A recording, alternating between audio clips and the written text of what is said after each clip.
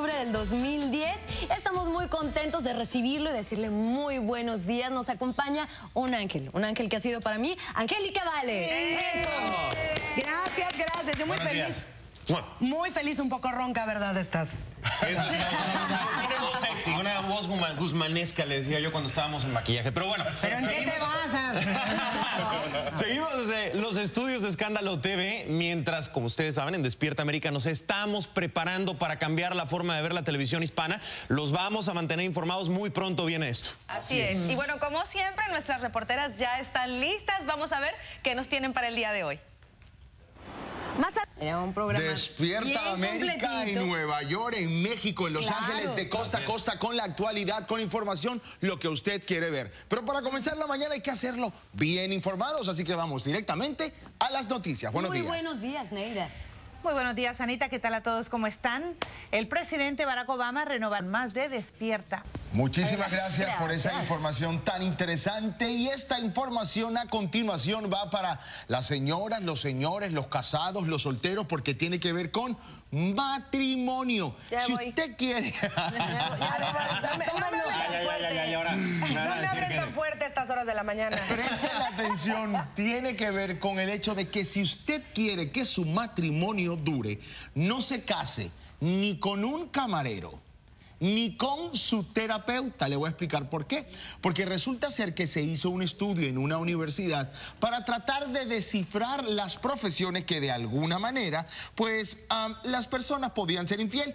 Y esto se basó en el censo de los Estados Unidos y advierte que se trata de divorcios actuales y no los anteriores. La profesión con mayor riesgo de divorcio es la de bailarines y coreógrafos con un 43 punto tanto por ciento. ¡Viva Viva. Seguido de cerca con los camareros, con un 38%, fisioterapeutas, 38%. Ahora, psiquiatras y psicólogos llegan a un 28.95%. ¡Ay! Que eso es rarísimo, porque Ay. comentábamos fuera del aire Sí. que cuando uno tiene problemas de pareja va a ver a su psicólogo y resulta que parece Se que con divorcia más esto- que los que... No, no, pero le dice, ven, ven, ven, yo te consuelo. Yo te A ver, consuelo. cuéntame tus problemas. Pero no escuchen esto. todos, no, no, no. Animadores de eventos y actores, un Ya voy. 28.49%. Imitan y ofenden. Tú, tú entras en la categoría de no, no te preocupes, tú vas a estar bien. Ah, pero no dijo imitadores ni comediantes. ¿Pero qué les parece eso? Mira, muchachos, pero fíjense lo que dice el estudio. Cuéntame. Animadores, animadoras, presentadores y presentadoras de televisión, un 0% de que puedan ser infieles. Sí, señor. Sí se puede. Nos salvamos Se en esta encuesta, Se señores. puede. Menos mal. ¿Sabes cuál Oye. es el problema? Creo que más en el ambiente artístico, como que todo mundo se entera, entonces no ayuda. Pues Claro. sí, eso no puede. O si Ahora, no.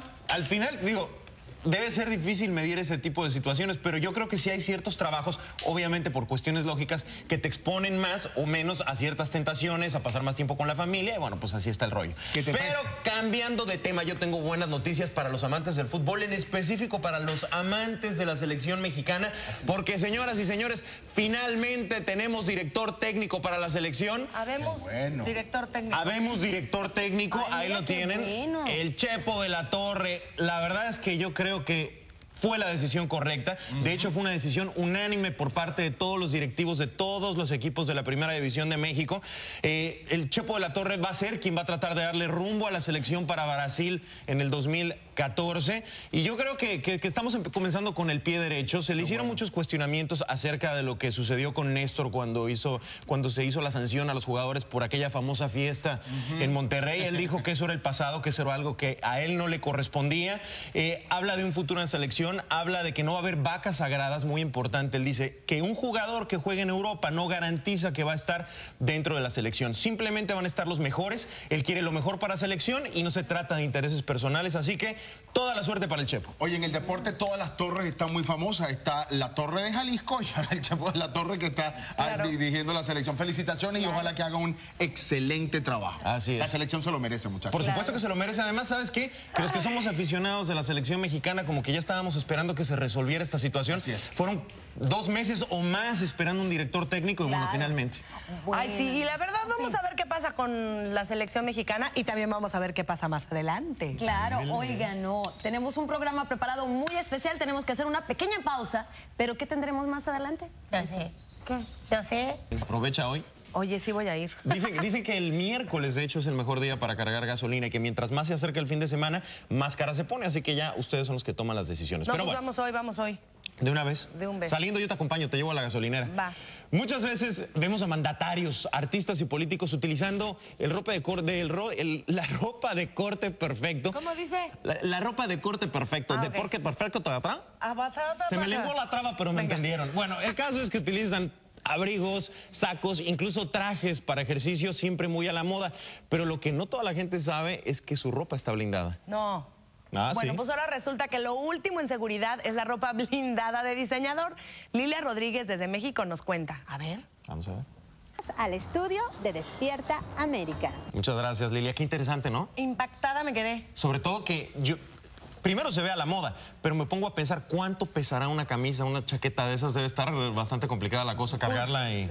Dicen que no, ¿eh? Que más o menos como, como, espérate, que lo tengo dos libras. ¿Dos libras? No. Sí, eso dicen. Dos libras, pero en cada brazo será. Yo creo. Porque esa cosa debe ser bastante pesada. Oye, ¿sabes que yo te quería hacer una pregunta? Cuéntame. La verdad es que hay de- cosas del- del seguro social así, Sí. que tengo dudas y que luego como que no entiendo bien. No tengas dudas, no tengas dudas. Nosotros tenemos preparado precisamente ese tema hoy y por eso vamos al otro lado del estudio con Carla.